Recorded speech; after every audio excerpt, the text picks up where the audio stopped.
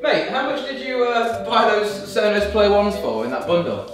I think it was two for 388 quid. 388 quid. Yeah, why? Well, these are like multi-room smart speakers, essentially, like Sonos, and they've got built-in too. So, what do you say we test them? They were like 49 pounds each. I hope they're not as good. I just wasted my money. Right, let's get them out the box.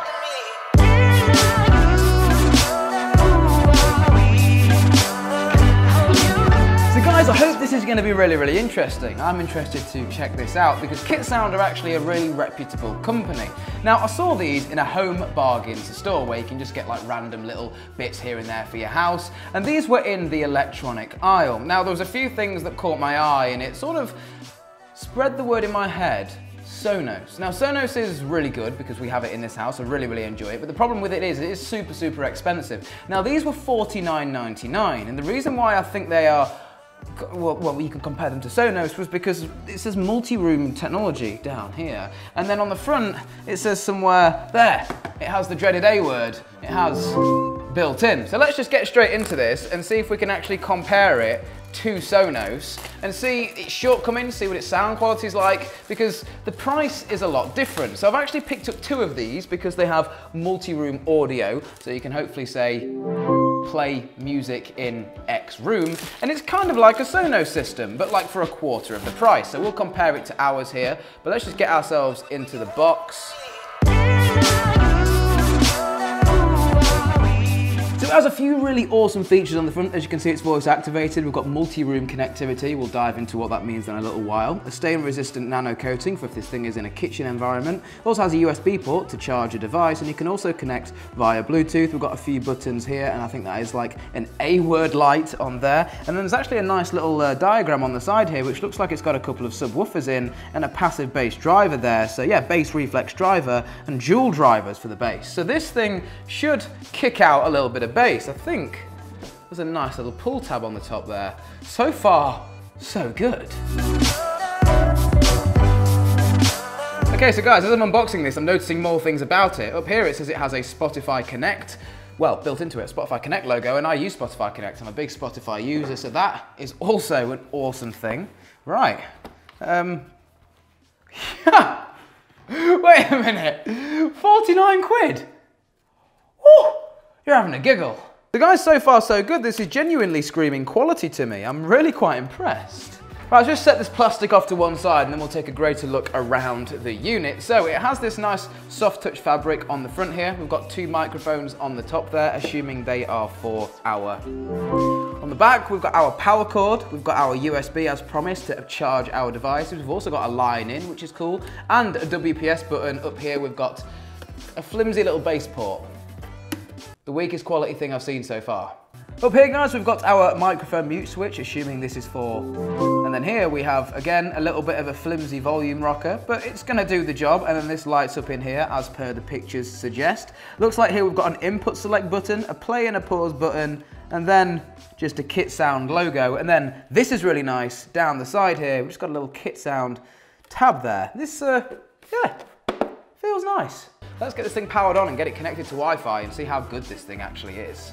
So I've gone ahead and downloaded the app as per the instructions. It's simply called Kit Sound and it's saying it's searching for my wireless hi-fi system. Now obviously it can't find one because we haven't set this up yet. So we're gonna click on Wi-Fi Setup Wizard and hopefully we can go ahead and set this thing up. You are now connected to your speaker. Follow the instructions in the app to finish the setup. Okay then guys, so it's successfully connected to my Wi-Fi network with an audible prompt telling me that it was connected. So now I've gone back to my actual house's Wi-Fi on my phone, gone back to the app and straight away it's pushed me to do an update to the actual speaker itself. So whilst that firmware update is uh, going ahead, I want to tell you guys, I got a little bit carried away with the unboxing. Forgot to mention that there's also this really, really hefty remote control that has all of the features on the front here and more. We've got a volume up and down button, left and right, seek buttons, we've got the input button, play and pause buttons, and it's proper metal, like it's not plastic.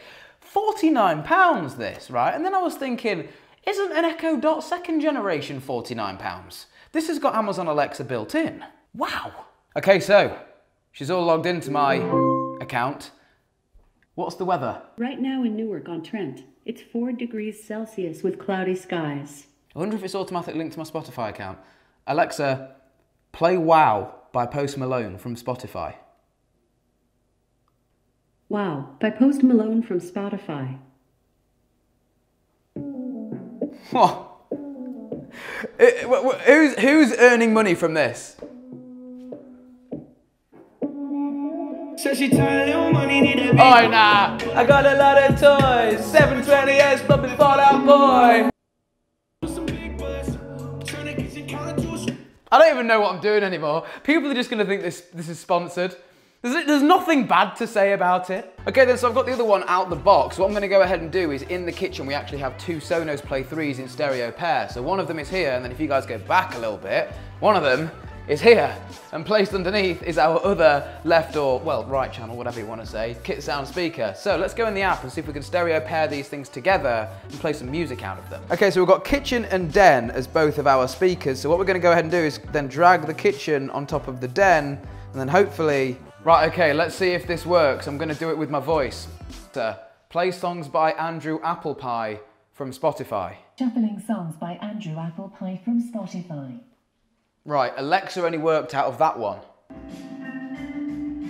But we do have stereo sound. So we've got this one being our left speaker, this one being our right speaker, and the whole room is filled with sound. Okay, so that proves that two of them work in a stereo pair, much like the Sonos do.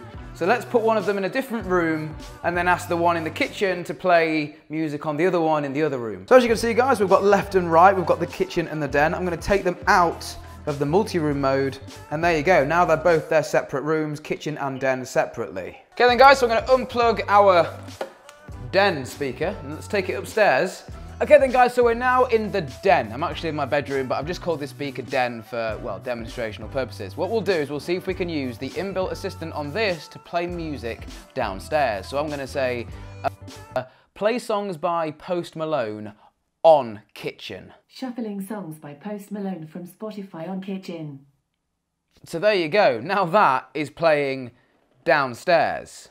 So guys, I've been using these kit sound speakers in the kitchen at my house for the past week, well, at my family home, to see what they are like compared to the Sonos. And I want to give you my rounded up overall thoughts of what I think of the system. So whilst I'm doing this, please bear in mind that this is a very expensive system to buy into Sonos. As soon as you bought into Sonos, well, you're gonna buy more of them. And one of these sets you back about 250 pounds. So let's run over the ways in which this is better. Well, number one, it's much cheaper. Number two, you have the ability to, well, charge a phone on the back of them. They also have a line in and Bluetooth, whereas this Sonos unit doesn't. So there's many more ways you can actually get your music to this, like Bluetooth and that line in on the back. The sound quality, well, you have to really give that one to Sonos. They really do nail it. If you're wanting a high-end audio quality speaker, then Sonos is the one. 200 pounds better though? That's really arguable. Don't get me wrong, I've had Sonos for the past five years of my life and absolutely loved every second of owning it, but I think when you've got people like KitSound bringing out speakers like this, yes, the app on the KitSound isn't as good on the Sonos, that's definitely another point for the Sonos.